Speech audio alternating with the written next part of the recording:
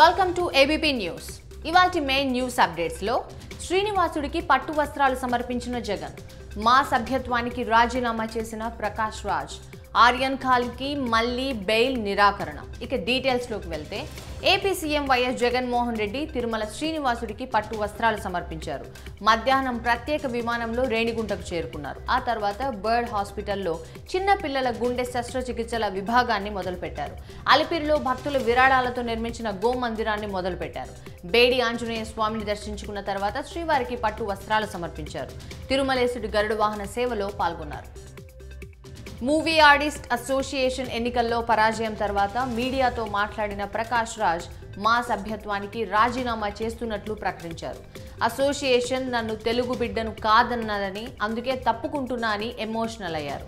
ఇలాంటి అజెండా ఉన్న అసోసియేషన్తో కలిసి ఉండలేనన్నారు. కేవలం సభ్యత్వాన్ని మాత్రమే వదులుతున్నా తెలుగు సినిమాలను కాదు నా సినిమా అవకాశాలు నిర్మాతలు దర్శకుల నుంచి నన్ను దూరం చేయలేరని కమెంట్ చేశారు. దీనిపై రియాక్ట్ అయిన మంచు విష్ణు నిర్ణయంపై పునరాలోచించుకోవాలని రిక్వెస్ట్ చేశారు. ఏపీలో విద్యుత్ సమస్య తీవ్రంగా ఉందని ప్రభుత్వ సలహాదారు సజ్జల రామకృష్ణారెడ్డి అన్నారు. భవిష్యత్తులో అధికారికంగా కరెంటు కోతలు రావచ్చని ఇళ్ళలో కరెంటు వాడకాన్ని తగ్గించుకోవాలని ప్రజలకు విజ్ఞప్తి చేశారు. బొగ్గు కొరత ధర పెరగడం వల్ల కరెంటు సంక్షోభం వచ్చిందని సజ్జల అన్నారు. విద్యుత్ సంక్షోభంపై సీఎం జగన్ ఇప్పటికే ప్రధానికి లేఖ రాశారన్నారు.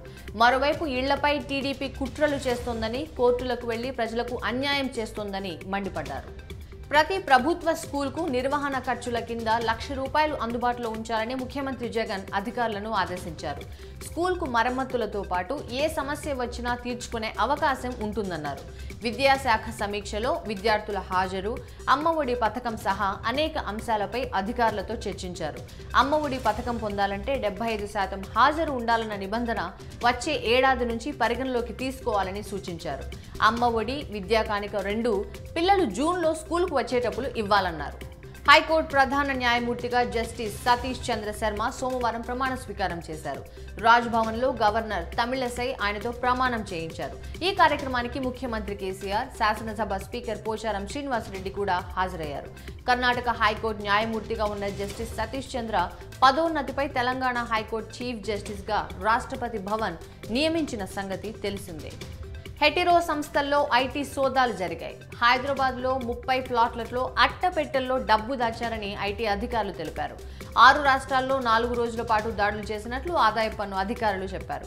ఈ దాడుల్లో లెక్కల్లో లేని భారీ మొత్తంలో నగదు స్వాధీనం చేసుకున్నట్లు చెప్పారు.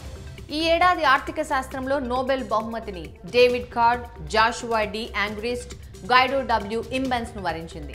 అయితే ఇందులో సగం పురస్కారాన్ని డేవిడ్ కార్డ్కు ఇవ్వనుండగా మిగతా సగాన్ని జాషువా గైడో పంచుకోనున్నారు. ఈ మేరకు రాయల్ స్వీడిష్ అకాడమీ తెలిపింది. ఆర్థిక శాస్త్రానికి సంబంధించి విశ్లేషణాత్మకమైన పరిశోధనలపై సహకారం అందించినందుకు గాను జాషువా గైడోలకు పురస్కారాన్ని ఇస్తున్నట్లు అకాడమీ చెప్పింది. కార్మిక ఆర్థిక అంశాలకు సంబంధించి పరిశోధనాత్మక సహకారం అందించినందుకు గాను డేవిడ్ కార్డ్కు నోబెల్ అందిస్తున్నట్లు తెలిపింది. ఇక మరిన్ని వివరాలకు వెళ్తే షారుఖ్ ఖాన్ కుమారుడు ఆర్యన్ ఖాన్కు ముంబై కోర్టులో మరోసారి చుక్కెదురైంది. శుక్రవారం నుంచి ఆర్యన్ ఖాన్ ముంబై జైల్లోనే ఉన్నాడు. మొత్తంగా మూడు సార్లు ఆర్యన్ ఖాన్కు కోర్టు బెయిల్ని నిరాకరించింది. ఈ పిటిషన్ను ముంబై సెషన్స్ కోర్టు ముందుకు బుధవారం పదకొండు గంటలకు విచారణకు రానుంది. జమ్మూ కాశ్మీర్ రాజౌరి జిల్లాలో ఎన్కౌంటర్ జరిగింది. భద్రతా దళాలు ఉగ్రవాదులకు మధ్య జరిగిన ఎదురు కాల్పుల్లో ఓ జూనియర్ కమిషన్ ఆఫీసర్ సహా నలుగురు సైనికులు ప్రాణాలు కోల్పోయారు. పిర్ పంజల్ రేంజ్ వద్ద జరిపిన కౌంటర్ టెర్రరిస్ట్ ఆపరేషన్లో ఈ ఘటన జరిగింది. జమ్మూ కాశ్మీర్ పూంచ్ ప్రాంతంలో ముగ్గురు ముష్కరులు ఉన్నారనే సమాచారం భారత ఆర్మీకి వచ్చింది. వారిని పట్టుకునేందుకు భారత సైన్యం గాలింపు చేపట్టింది. బలగాలను చూసిన ఉగ్రవాదులు కాల్పులు జరిపారు. ఆ కాల్పుల్లో మొత్తం ఐదుగురు జవాన్లు వీరమరణం పొందారు. ప్రపంచవ్యాప్తంగా అక్టోబర్ పదకొండున అంతర్జాతీయ బాలికా దినోత్సవం నిర్వహించుకుంటారు. ఈ సందర్భంగా స్టార్ హీరో మహేష్ బాబు తన కూతురి ఫోటోతో పాటు క్యాప్షన్ జత చేర్చి ట్విట్టర్ పోస్ట్ పెట్టారు. సితార చక్కటి నవ్వుతో ఓ నది ముందు సేద తీరుతున్న ఫోటోను పోస్ట్ చేసి నా కూతురితో పాటు ప్రపంచంలోని ఆడపిల్లలంతా ఈ రోజును సెలబ్రేట్ చేసుకుంటున్నారు. వారు చుక్కలను అందుకునేలా శక్తివంతంగా మారేందుకు సహకరిద్దాం అని ట్వీట్ చేశారు. ఇవి వాటి మెయిన్ న్యూస్ అప్డేట్స్ మరిన్ని తాజా న్యూస్ కోసం ఏబీపీ దేశం యూట్యూబ్ ఛానల్ను సబ్స్క్రైబ్ చేయండి. అలాగే ఏబీపీ దేశం ఫేస్బుక్ పేజ్ను లైక్ చేయండి.